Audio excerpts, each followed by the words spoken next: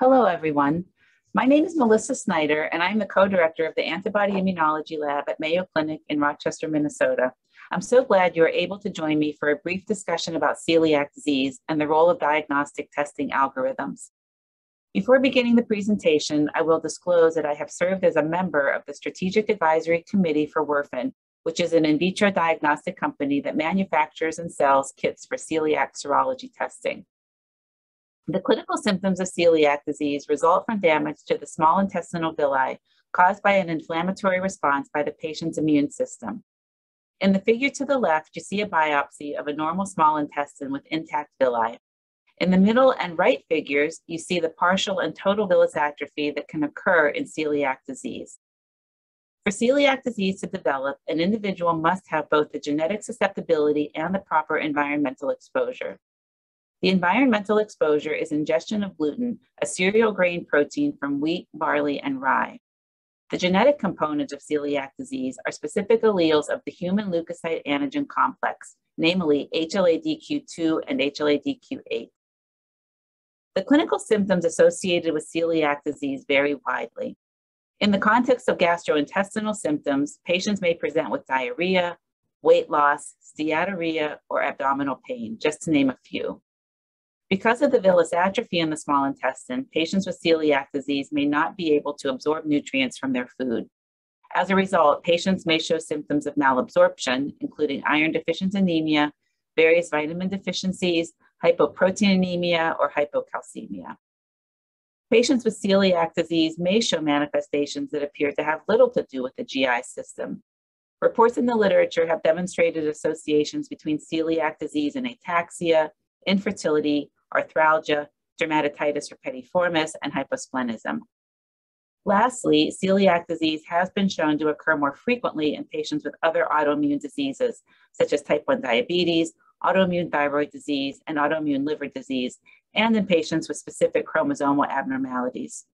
The point to stress here is that there are a wide variety of clinical symptoms or other scenarios in which testing for celiac disease may be warranted. The diagnosis of celiac disease can be based on a review of clinical symptoms and coexisting conditions, an intestinal biopsy with evidence of villus atrophy, serology testing for endomysial, tissue transglutaminase, and deamidated gliadin antibodies, and evaluation for genetic risk factors, including family history and presence of HLA-DQ2 and DQ8 alleles. Treatment for celiac disease is implementation of a gluten-free diet the goal of this treatment is to remove the environmental exposure of dietary gluten.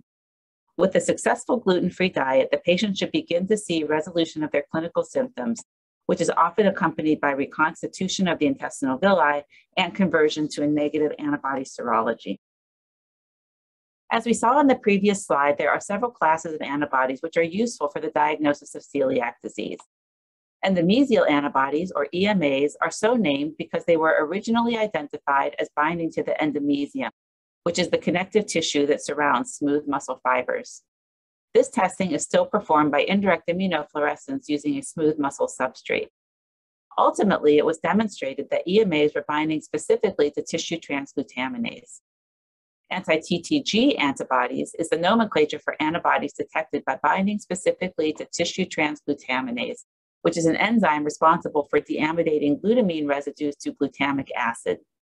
Patients with celiac disease may also develop antibodies against gliadin, which are peptides produced from digestion of gluten. The first immunoassays developed tested for antibodies against unmodified gliadin.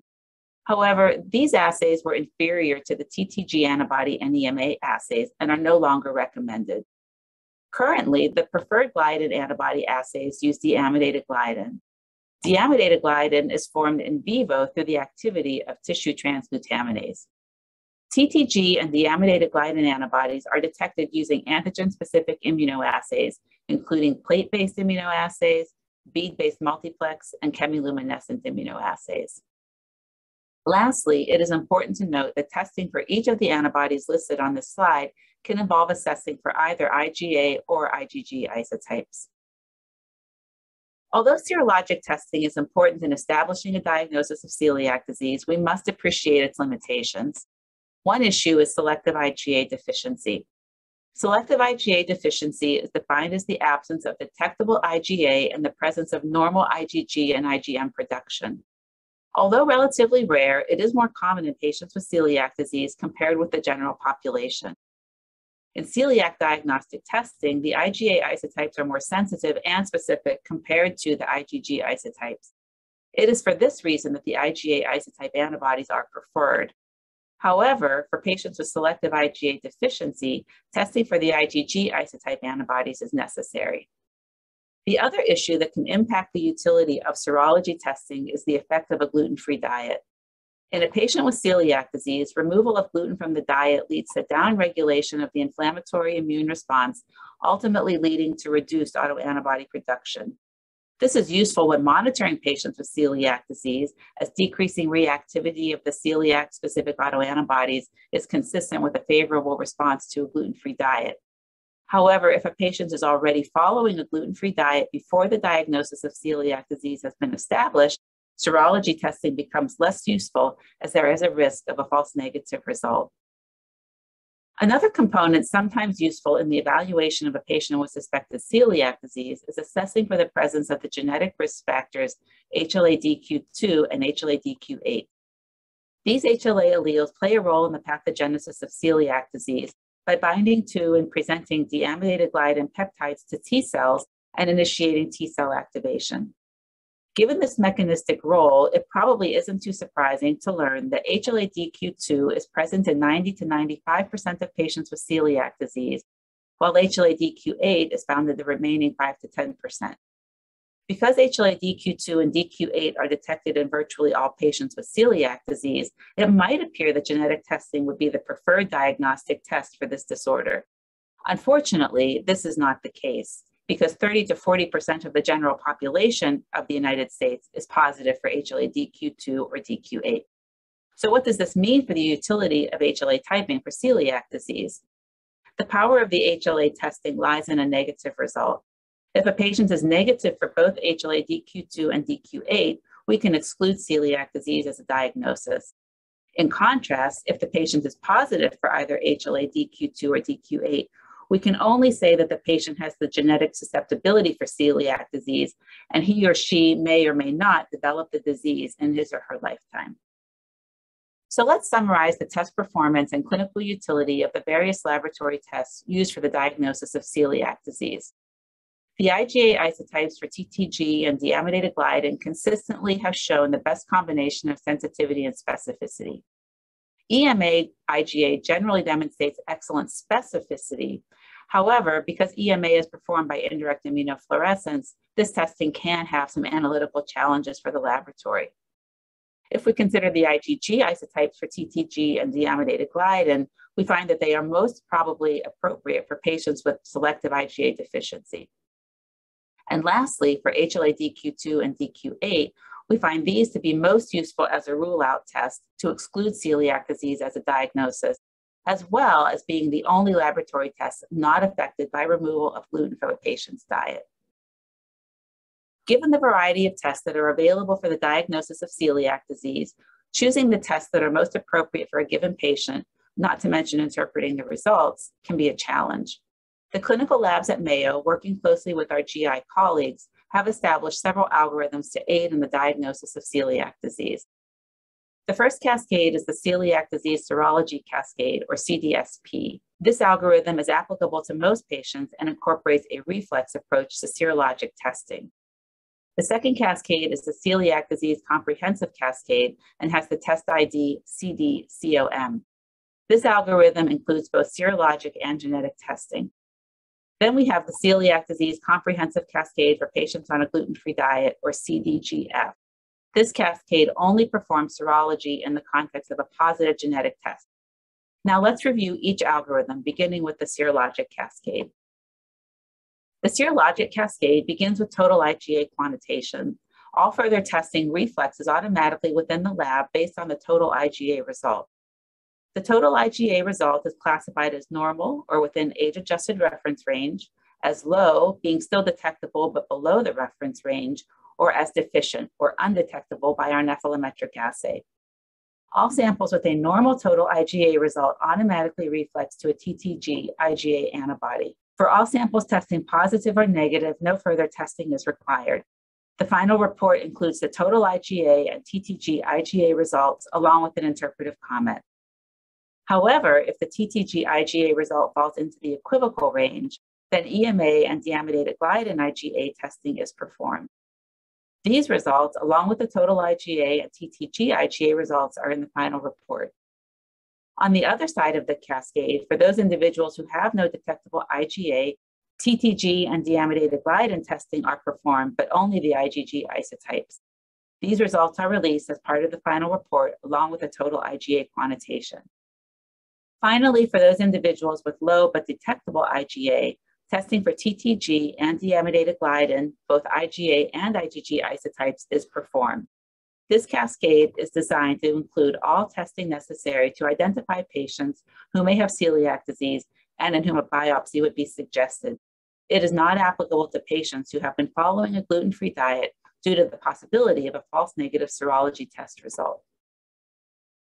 The comprehensive cascade includes HLA typing and a reflex of serology tests. The comprehensive cascade begins with both total IgA and HLA DQ typing. All further testing reflexes automatically based on the total IgA results, similar to the serology cascade and independent of the HLA result. The IgA results are classified as normal, low, or deficient. For normal total IgA, a TTG IgA is performed. For positive and negative results, no further testing is required.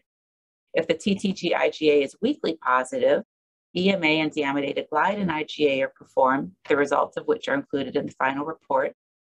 For individuals with selective IgA deficiency, testing for the IgG isotype for TTG and deamidated gliadin antibodies is performed, followed by release of the final report.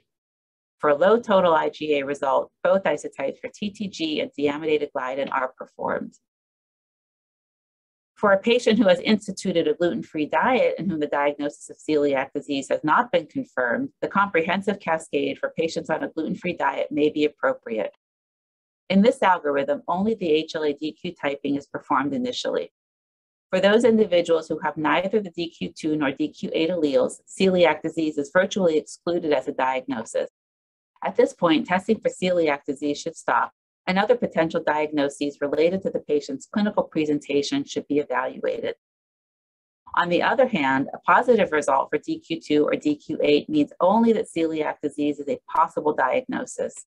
At this point, testing for all the serologic tests is performed. Depending upon how long the patient has been following the gluten free diet and how strict the diet is, some of these serologic tests may provide a positive result. In that case, the results of all laboratory testing are consistent with celiac disease and a biopsy would be indicated. If all results are negative, celiac disease has not been completely ruled out since this could simply be a reflection of a successful gluten-free diet. At this point, the clinician must determine how likely the diagnosis of celiac disease is and if further evaluation, such as a gluten challenge, should be considered. To summarize, we know that laboratory testing is important in the evaluation of patients with suspected celiac disease. However, the number of available tests, serologic and genetic, can be confusing. Mayo Clinic Laboratories offers three laboratory reflex algorithms for celiac disease, which targets the most appropriate testing for the individual patient. Each cascade has a specific utility. The celiac disease serology cascade is the most widely applicable algorithm and uses targeted serology testing for identification of patients in whom celiac disease is a possible diagnosis. The celiac disease comprehensive cascade includes serologic and genetic testing and is designed for the small subset of patients in whom HLA-DQ2 and DQ8 typing is desired. The celiac disease comprehensive cascade for patients on a gluten-free diet relies on genetic testing to exclude celiac disease in patients who have initiated a gluten-free diet prior to a confirmed diagnosis. One final point to mention is that all celiac testing offered by Mayo Clinic Laboratories is also available as individually orderable tests. The testing algorithms are most useful for diagnostic evaluation, while the individual tests are most appropriate for monitoring patients and their response to a gluten-free diet. I hope this presentation has provided you with useful information regarding laboratory testing for celiac disease and has helped to clarify the many options available for diagnostic testing. Thank you for your participation.